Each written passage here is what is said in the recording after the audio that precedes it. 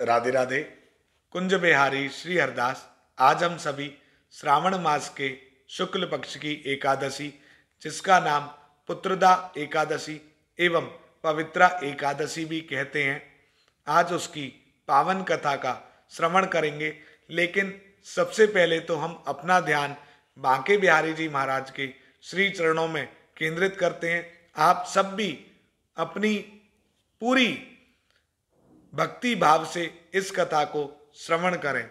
नमः कुंज बिहारिण्य नमः कुंज बिहारिणे स्वामी श्री हरिदासाय गुरुनाम गुरुवे नमः। राधा मेरी स्वामिनी, मैं राधे जू को दास। जन्म जन्म मोहे दीजियो, श्री वृंदावन को वास। वृंदावन सो वन नहीं नंद गाँव सो गाँव, बंसी बट सो बट नहीं। कृष्ण नाम सो नाम। बोलिए श्री बांके बिहारी लाल की जय। स्वामी श्री हरदास जी महाराज की जय।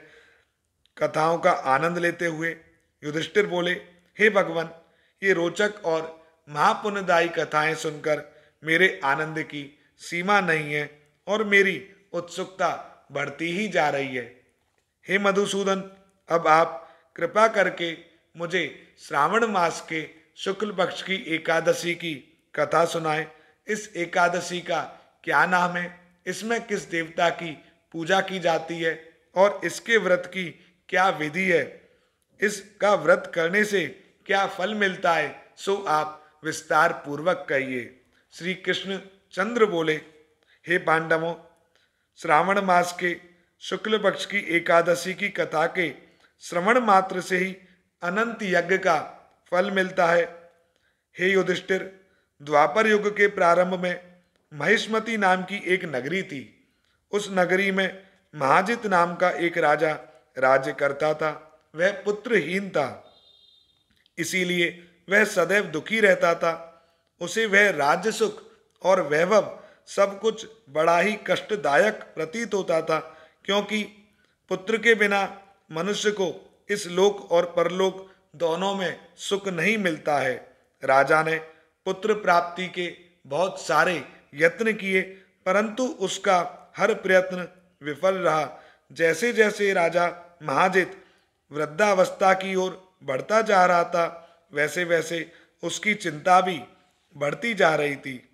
एक दिन उसने अपनी सभा को संबोधित करते हुए कहा ना तो मैंने अपने जीवन में कोई पाप किया है और ना ही अन्यायपूर्वक प्रजा से धन एकत्र किया है, ना ही कभी प्रजा को सताया है, ना कभी किसी देवता अथवा ब्राह्मणों का अपमान किया है।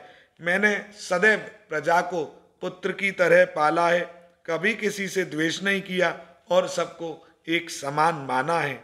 मेरे राज्य में कानून भी ऐसे नहीं है जो प्रजा में अनावश्यक भय पैदा करें।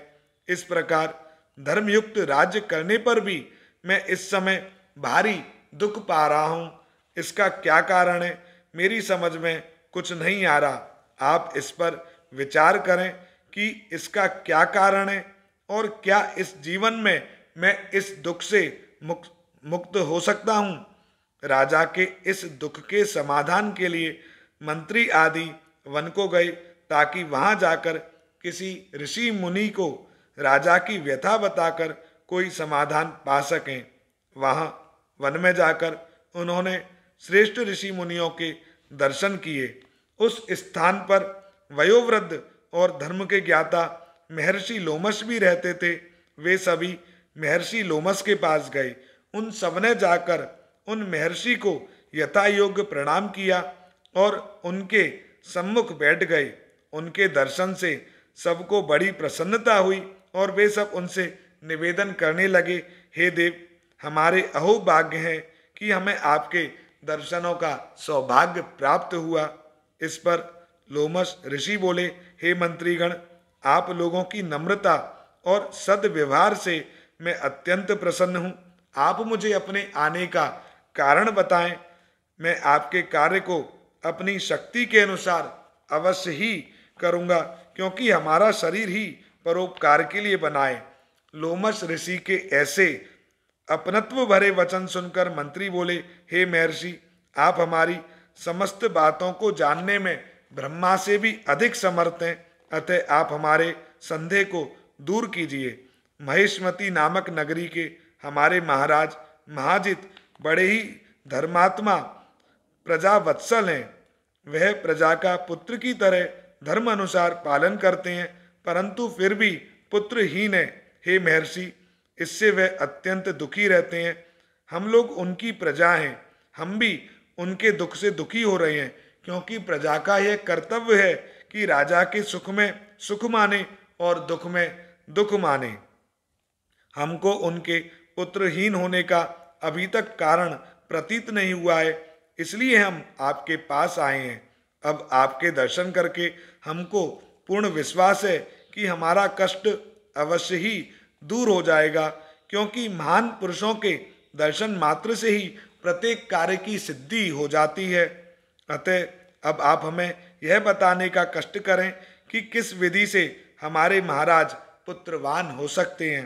हे महर्षि, यह आपका, हम पर व हमारे राज्य की प्रजा पर बड़ा ही उपकार होगा। ऐसी करुण प्रार्थना सुनकर लोमस ऋषि नेत्र बंद करके राजा के पूर्व जन्मों के बारे में विचार करने लगे। वह कुछ पलों बाद विचार करके बोले, हे श्रेष्ठ पुरुषों, यह राजा पिछले जन्म में अत्यंत उद्दंड था तथा बुरे कर्म किया करता था। उस जन्म में वह एक गाँव से दूसरे गाँव में घूमा करता था। एक बार ज्येष्ठ मास के शुक्ल पक्ष की एकादशी के दिन की बात है। वह दो दिन से भूखा था। दोपहर के समय एक जलाशय पर जल पीने गया। उस स्थान पर एक उसी समय ब्याई हुई गाय भी जल पी रही थी। राजा ने उसको प्यासा ही भगा दिया और स्वयं जल पीने लगा। हे भद्रजनों, इसलिए राजा को यह दुख भोगने पड़ रहे हैं। एकादशी के दिन भूखा रहने का फल तो यह हुआ कि वह इस जन्म में राजा है, लेकिन प्यासी गाय को वहाँ से भगा देने के कारण वह पुत्रहीन है। इस पर वे सभी सभासद विनती करने लगे, हे महर्षि, शास्त्रों में ऐसा लिखा है कि पुण्य से पाप नष्ट हो जाते हैं। अतः कृपा करके आप हमें कोई ऐसा उपाय बताएँ जिससे हमारे महाराज के पूर्व जन्म के पाप नष्ट हो जाएँ और उन्हें पुत्र रत्न की प्राप्ति हो। सभासदों की याचना भरे शब्दों को सुनकर लोमस ऋषि बोले, हे भद्रजनों, यदि तुम सब श्रावण मास के शुक्ल पक्ष की पुत्रदा एकादशी का व्रत और रात्रि को जागरण करो और उस व्रत का फल राजा को प्रदान कर दो तो तुम्हारे राजा के यहाँ पुत्र उत्पन्न होगा। राजा के समस्त दुख नष्ट हो जाएँगे। यह उपाय सुनकर सभी सभासदों ने महर्षि को कोटि कोटि धन्यवाद दिया तथा उनका आशीर्वाद लेकर अपने राज्य में लौट आए तत्पश्चात उन्होंने लोमस ऋषि की आज्ञा अनुसार पुत्रदा एकादशी को विधि पूर्वक व्रत किया और द्वादशी को उसका फल राजा को दिया। उस पुण्य के प्रभाव से रानी ने गर्भ धारण किया और नौ महीने के बाद ही उसके एक अत्यंत तेजस्वी पुत्र रत्न पैदा हुआ। हे युधिष्ठिर इसलिए इस एकादशी का नाम पुत्रदा पड़ा। पुत्र की इच्छा रखने वाले मनुष्य को चाहिए कि वे विधि पूर्वक श्रावण मास के शुक्ल पक्ष की एकादशी का व्रत करें। इस व्रत के प्रभाव से इस लोक में सुख और परलोक में स्वर्ग मिलता है। कथासार, पाप करते समय मनुष्य यह नहीं सोचता कि वह क्या कर रहा है। किंतु शास्त्रों से विदित होता है कि व्यक्ति का छोटे से छोटा पाप भी उसे महान कष्ट भोगने को विवश कर देता है। अतः मनुष्य को पापों से डरना चाहिए, क्योंकि पाप नामक यह राक्षस उसका जन्म जन्मांतर तक पीछा नहीं छोड़ता।